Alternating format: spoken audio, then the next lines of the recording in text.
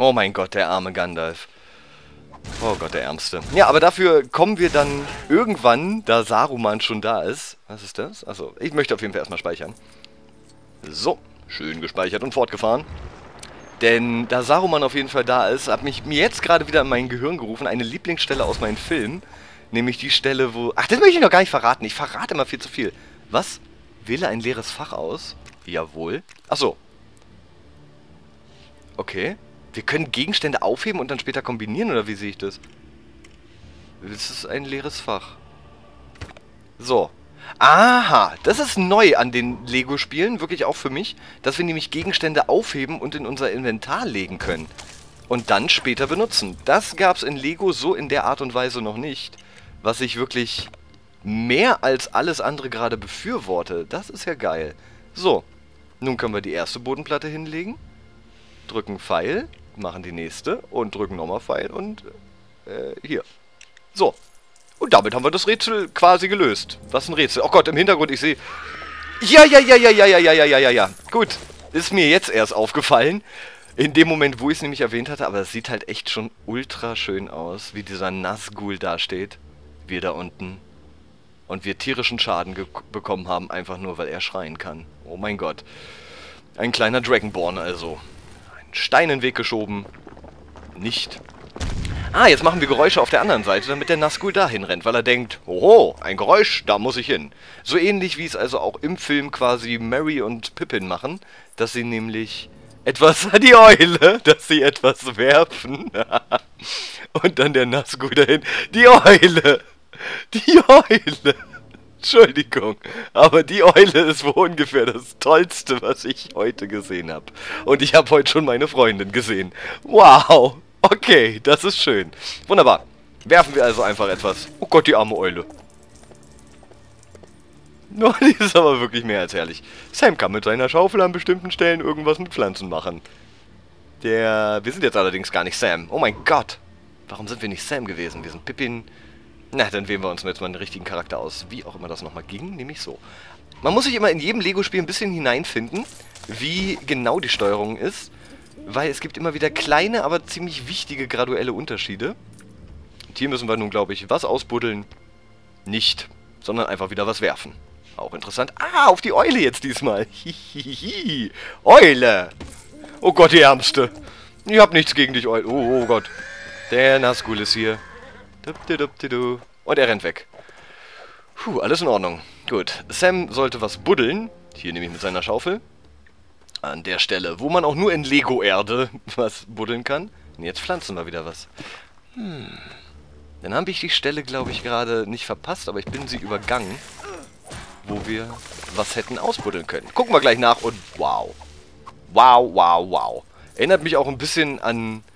Kennt ihr Asterix und die Trabantenstadt? Denn in Asterix und die Trabantenstadt holt der liebe Miraculix nämlich mal einfach fixer Hand äh, etwas Schönes heraus aus seinen, ich möchte mal sagen, druidischen äh, ja, Köfferchen, was dort nämlich Bäume wachsende Pillen sind. Und das ist der Wahnsinn. Wo kann ich nun mit Sam bitte was pflanzen?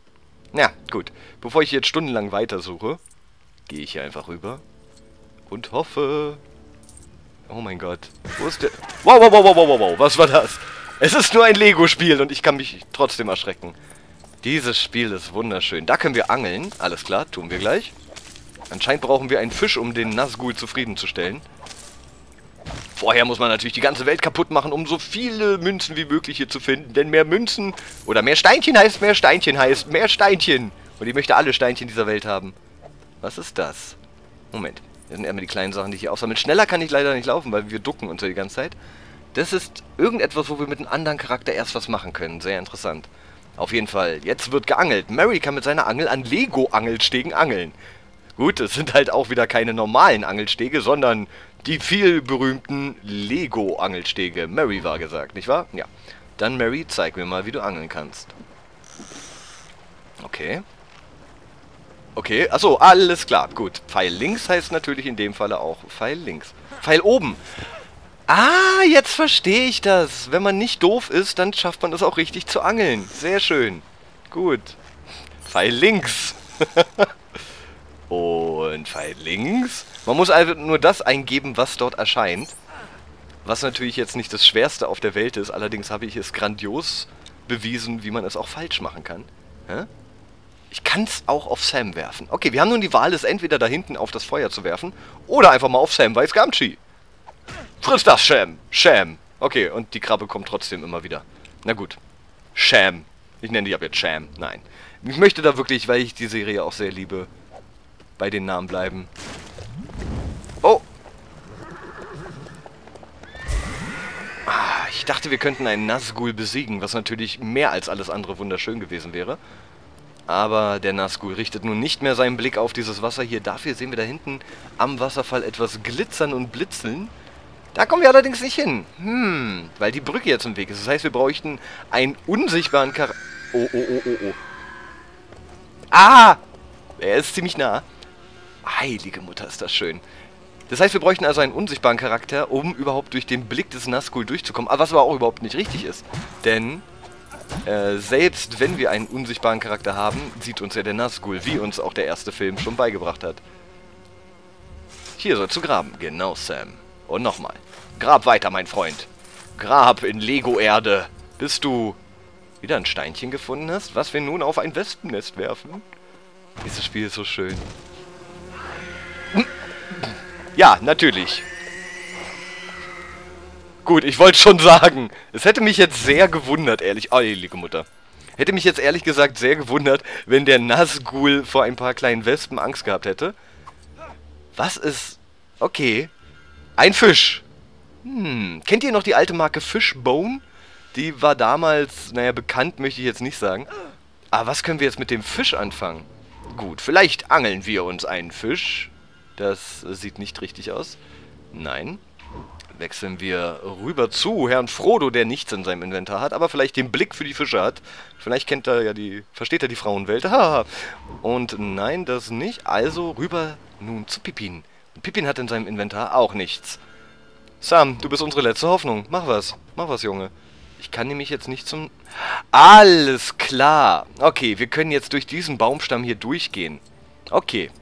Darauf muss man auch erstmal kommen, aber Sam hat dieses unglaubliche Rätsel für uns gelöst. Gut, okay, man muss jetzt lo... Also man muss wirklich dazu erwähnen, nicht der Nazgul hatte Angst. Was?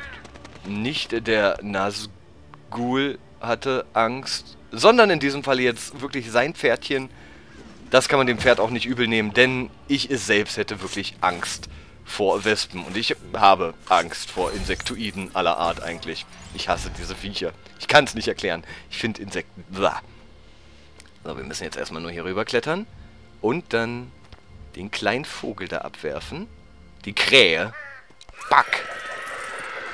Oh Gott, oh Gott, oh Gott, oh Gott. Gut, jetzt können wir hier was aufsammeln. In Ordnung. Ich dachte schon, er würde seinen Blick gleich wieder auf uns lenken. Hier können wir jetzt nicht rübergehen, sondern...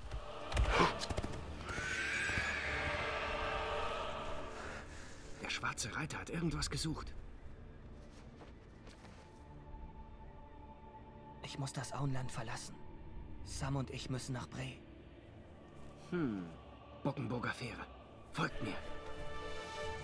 Eine meiner auch Lieblingsstellen im ersten Teil. Bockenburger Ferry.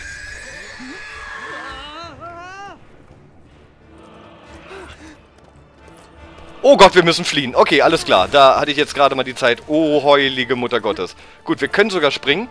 Die, die, die, die, die. Wir dürfen uns halt, ich glaube einfach mal... Heilige Scheiße, was soll ich machen? Gut, wir dürfen uns einfach nur von diesen ganzen Büschen hier auf dem Weg nicht zu oft erwischen lassen. Nehme ich mal an. Oder die rennen einfach dagegen. Ach, wie ich laufe jetzt hier einfach durch, denn dafür gibt es ein paar Steinchen. Und mehr Steinchen heißt, oh meine Güte, mehr Steinchen und wir sind gestorben. Mehr Steinchen. Und ich bin ein wahrer Abenteurer. Heilige Mutter, ist das wunderschön. Oh mein Gott, wir springen hier einfach unseren Weg nach vorne. Wenn man springt, ist man ein bisschen schneller. Diese blöden Nazgul-Reiter rennen zum Glück in jeden Scheiß rein. Und da sind wir nun bei der Bockenburg-Ferry.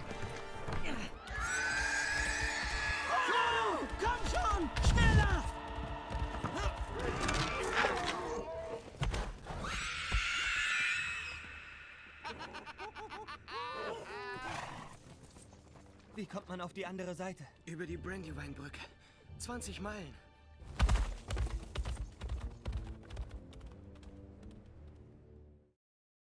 Boah, ist das geil. Dieses Spiel ist wirklich boah, ich liebe Lego, ich liebe alles. Es ist so schön. Ja, ähm, was ich jetzt, Mary und Pippin, die wir jetzt dazu gewonnen haben, unsere lieben, lieben Helden, sind sogar mit den Originalstimmen beide behaftet, was mir sehr gefällt. Wir haben nochmal neue Charaktere zum Freischalten bekommen. Uh, zwei an der Zahl. Und schon bald werden wir, glaube ich, dann noch zeigen können, wo man die freischaltet. Ich glaube, das war im hier Auenland normal möglich. Nämlich in Beutlingen, um genau zu sein. Da habe ich mich jetzt allerdings nicht so umgesehen, weil ich das Spiel ein bisschen vorantreiben wollte. Wir haben nun zum zweiten Mal den wahren Abenteurer erhalten, was ich auf jeden Fall in jedem Level schaffen will. Und danach können wir einfach gucken, ob ich das Spiel zu 100% für euch fertig mache. Denn Star Wars Lego hatte ich auch schon zu 100% selber geschafft. Allerdings natürlich nicht aufgenommen, sondern nur im privaten Rahmen. Das braucht dann aber halt auch seine Zeit, möchte ich mal sagen. Och, ist das herrlich. Dieses Spiel ist so toll. Gut, die Geschichte wird beim nächsten Mal fortgesetzt. Ich danke euch sehr fürs Zusehen. Falls ihr Spaß daran habt, gefällt es mir noch mehr, denn Lego ist einfach genial. So, bis zum nächsten Mal. Euer Funk Royal. Over and out.